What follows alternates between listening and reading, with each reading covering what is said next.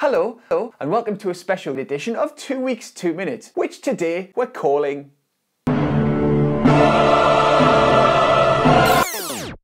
Not really, but you know, 12 months in 7 minutes and 28 ish seconds sounds a bit rubbish. Anyway, here's how 2016 went in cars through the eyes of us here at HJ. In January, we learned that the UK exported more cars in 2015 than it had in any year during the previous decade, and that almost half of all car thefts in the UK involve a stolen key. We drove the Toyota RAV4 Hybrid, and if you've ever wondered what real value for money looks like, fret not.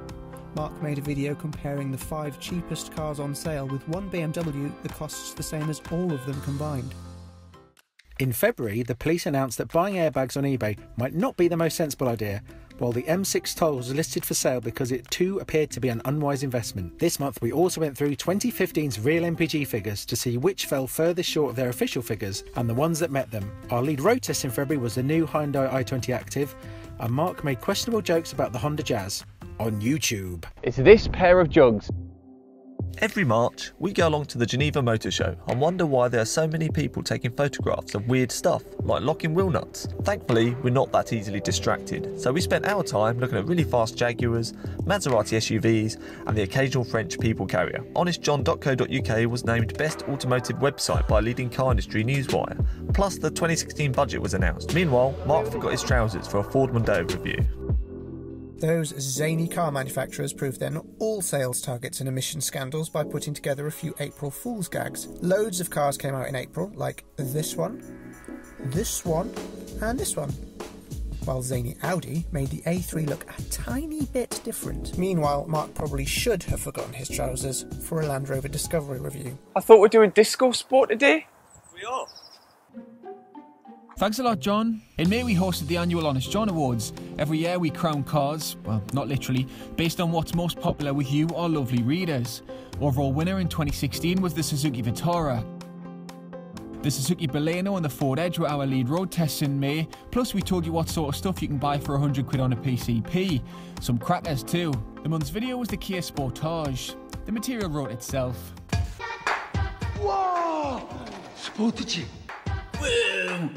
스포렌즈만. 어디지는? 뭐 세련된 남자가. 이칸에 겟니다 만나자 라스스카. 내가. 벨라 까먼 두분 다 타세요. I'm gone with the lasses 어, man. Pure sportage.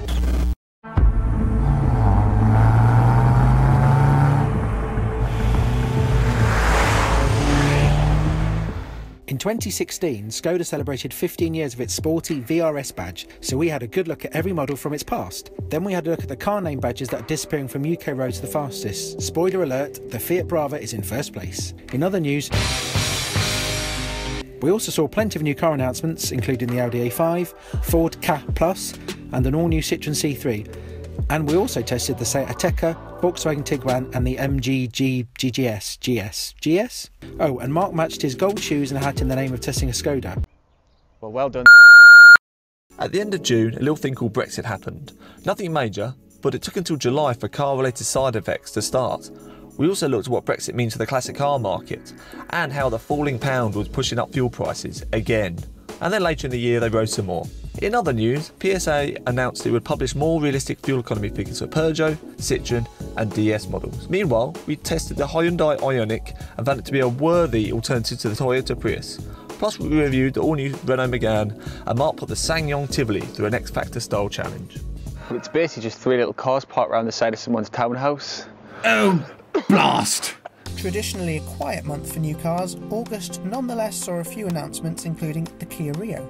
We had a look at 10 easy to ride A2 friendly motorbikes, and we also came up with 10 gadgets you can use to modernise an older car. We added a full review of the Jaguar F Pace and a road test of the all wheel drive Skoda Octavia VRS, while Land Rover announced a surprisingly small, sensible engine for the Range Rover Sport. August lull over, we had a good look at the all new, bigger, and 100% uglier Honda Civic, which will be built in Swindon. We also told you our favourite SUVs for less than 30 grand, and we learned that loads of drivers admit to speeding in 20 mile per hour zones. Tut tut. The Ford Ka Plus, the Vauxhall Mokka X, and the Mercedes Benz E Class Estate were our main road tests, while the Volvo XC90's unique safety features stopped me from having a common sort of accident. Moose detection. Of course it's got moose detection.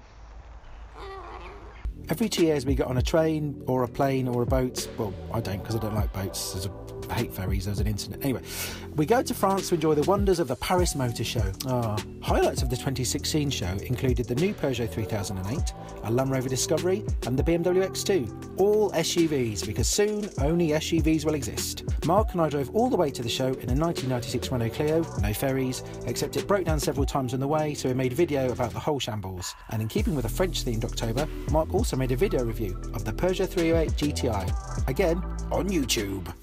Not again. This happens every time. Following lots of new car announcements in October, November is set aside for driving some of them, including the Peugeot 3008, Skoda Kodiaq, and Toyota CHR.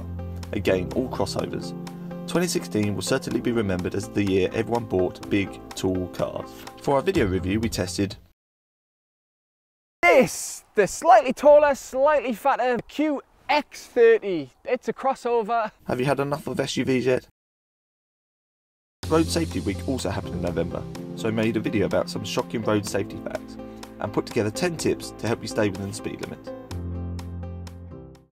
Every Christmas, we give away a huge bundle of prizes to one lucky reader, and 2016 is no different. You can still recap all of our best gift ideas, from books to in car gadgets, experience days, and a variety of oddities just in time for the January sales. And even though it's party season, there are still bundles of cars to test, with December seeing us get behind the wheel of the updated Dacia Duster, the Citroen C3, the Renault Scenic, and the Smart 2 Cabrio. Perfect winter car, I'm sure you'll agree.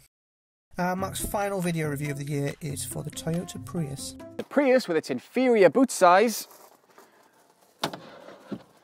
bosh, straight in. Now that's road testing, or should I say, roadie testing.